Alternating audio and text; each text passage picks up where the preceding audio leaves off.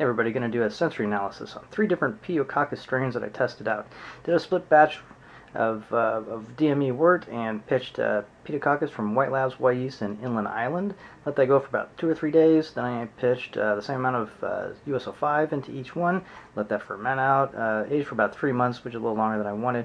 Then I put uh, amalgamation in there, and that might have sat for another three to six months somewhere in there before I bottled it. Uh, these bottles now are, are uh, about a year old, a little over than that. So I'll link a video on uh, exactly what I did and what the experiment was there. Um, and uh, gonna go over the results. First, some stats on the beers. Uh, the Inland Island ended up at 3.17 pH, and it ended up at 7.9 Brix. The Wyeast ended up at 3.2 pH and 8 Brix.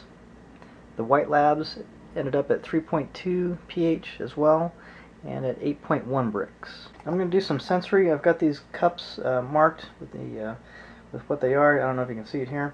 Um, one thing I've noticed already is that the Inland Island one is uh, is quite a bit more carbonated than the other two, and the Wyeast was basically uncarbonated completely. So here's the Inland Island.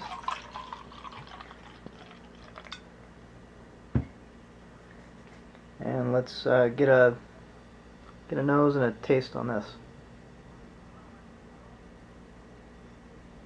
So I get a lot of uh, dark fruits as, long, as well as like uh, apple and cider characters, but you also get uh, more like plum and raisin, a little bit of that.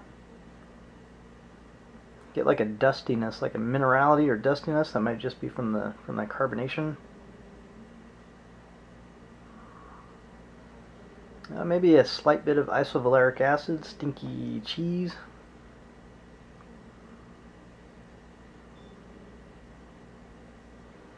I'm mostly kind of getting like this dark, uh, well, pineapple. Pineapple with a little bit of raisin and plum, along with uh, some of your green fruits like apple.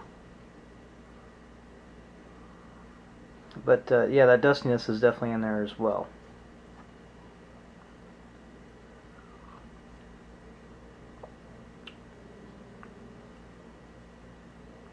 The acidity is pretty, even though it's a 3.2 uh, pH, doesn't taste that acidic. Um, it tastes kind of a kind of a light, moderate light tartness.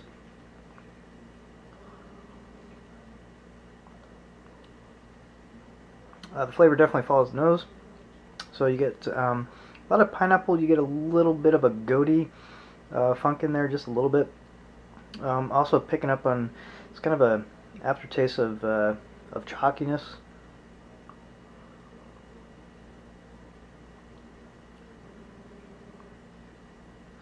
I wouldn't say the flavor is is incredibly uh, complex. I do like the acidity level, uh, like what the Brett did there. Uh, it's hard to say what exactly maybe the Pediococcus did. Um, I'm not getting it as wine-like as, as it was before. Uh, I added the Brettanomyces. So the Brettanomyces I think kind of you know took over a little bit um, but there's definitely the uh, the acidity to, to back it up. Pretty thin body. Uh, this was just uh, dry malt extract and nothing else, no hops or anything. Hmm. So that's interesting. Let's move on.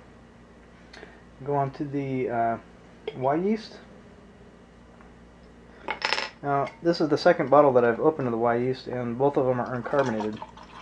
And that I don't know why. The only thing I can think of is that the Brettanomyces in the Wyeast batch died for some reason. I kept them all in the same type of fermenter, in the same area, at the same temperature, same time. Um, I definitely didn't forget to to uh, add sugar to them because uh, I bottled them all at the same time. Uh, but the Wyeast uh, didn't carbonate for some reason. I did not add any yeast at bottling time. So I'm getting that same, uh, and this one's kind of kind of come through as a smoky character. Um, in the other one it was like a dusty character, but I think it's kind of the same thing. Maybe without the carbonation, just comes off a little differently. Uh, the fruits are definitely kind of like a pineapple, but it's real, real light. Uh, probably again because it's not carbonated. Definitely getting some ethyl acetate in there, but low levels, um, real pineapple. Kind of a character. And maybe a little bit of a, like a honey sweetness.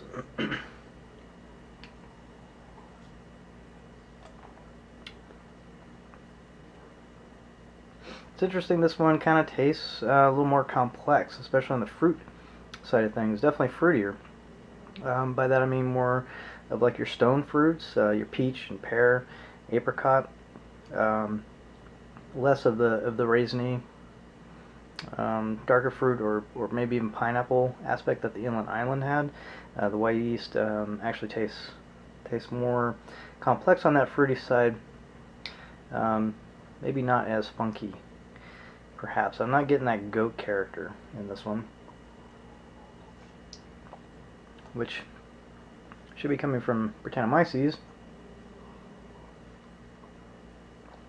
And that would be probably caprolate. But uh, going between the two of them, uh, this one is definitely more more intense on that pineapple character, um, and this one is more more subdued, quite a bit more subdued, and going more into the stone fruit category. It's really interesting that the pedio made that big of a difference. I'm kind of shocked at that actually. Um, so here's the White Labs.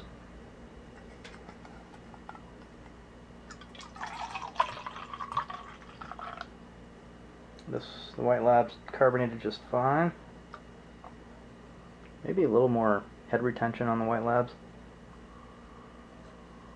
The aroma is definitely weaker. You get kind of a weak pineapple with that chalk aspect to it, that minerality in there. But it kind of tastes like a, uh, or smells like um, kind of a weak, weak apple ester of some sort. Might be getting a little little more pineapple now.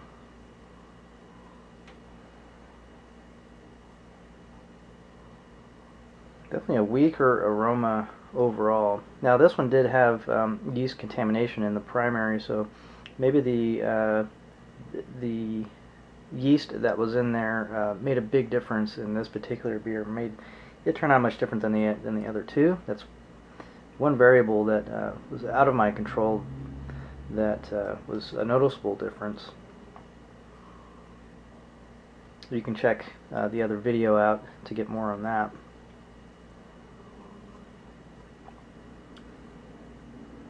Uh, this one definitely has a lot more of the wine character to it, more like a Chardonnay.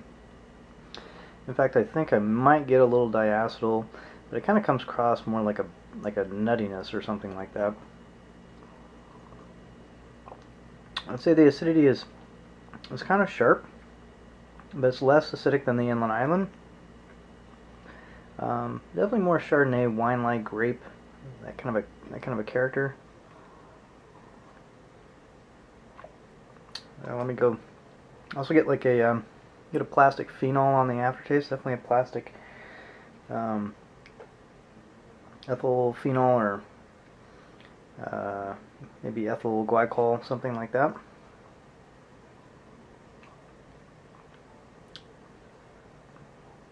Um, maybe kind of a like a watermelon aspect to it. Uh, it's kind of in between the other two. Um, definitely has more pineapple than the Wyeast, uh, but it's more subdued and a little more, uh, maybe a little more complex than, than the other two.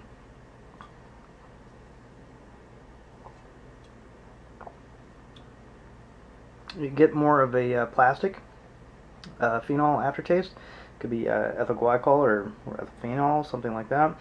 Uh, some sort of uh, some sort of plasticky phenol on the on the aftertaste. It's very slight, not a lot of that.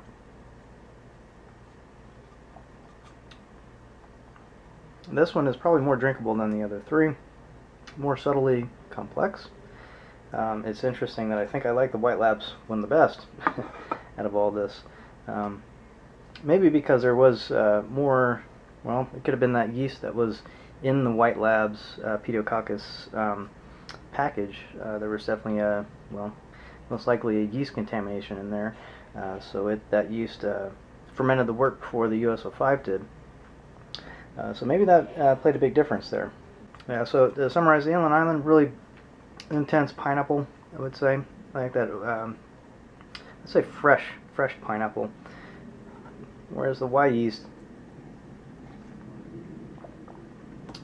way more subdued, more on the uh, on the apple pear ester kind of level with uh, with a little bit of the pineapple as well.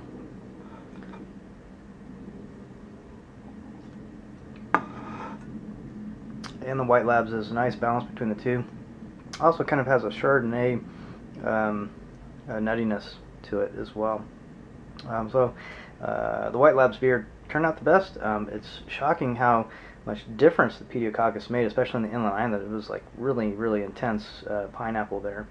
So um, it would probably be a really good blending beer. So that's it for the sensory analysis of three Pediococcus cultures from Inland Island, Wyeast and White Labs. I want to thank Inland Island for sending me the Pediococcus.